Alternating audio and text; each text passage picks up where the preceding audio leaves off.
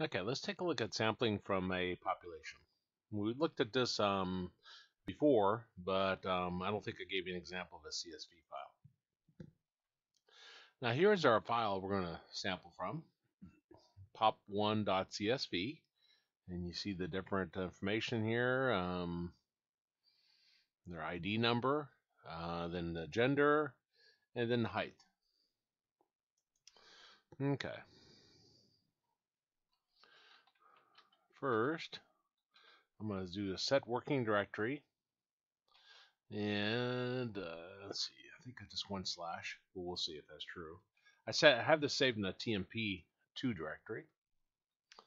And um, I know a lot of focus is putting on setting your working directory to begin with, um, but I think you shouldn't be restricted just always saving your files in that one place. Um, you should feel comfortable with changing it to different different locations. Okay, and uh, just say p and uh, read.csv. Um, let me see what I call it. Pop1.csv. Okay, now that's gonna that's gonna uh, make the association between p and our CSV file. Now we want to uh, sample from within the uh, the the data. Specifically, notice across top here it says ID, sex, and height. Um, that first uh, row is titles, and that helps us specify which one we're going to be working with. So uh, here, psamp, we do sampling with our sample again, and then um, I'm going to have p and then dollar sign height and comma. And next one, as you see from the uh, pop-up there, tells us the size. So if you ever forget, then um, that's handy. And so if I put 100 in, it'll uh, sample 100 values. And now let's print the, the sample. And uh, psamp. I got something wrong. Let me look here. Set working directory. Oh, I gotta highlight all those.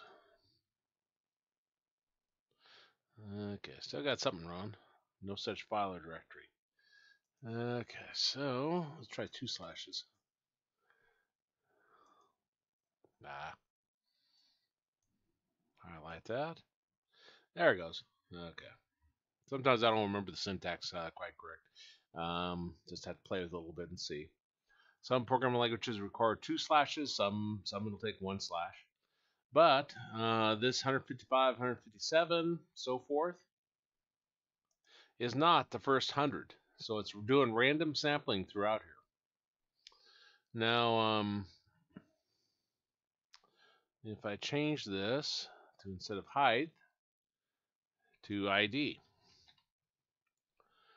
and highlight those and run it. Now you see it's um, doing it based upon the the ID. Um,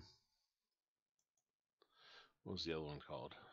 Uh, sex. Okay.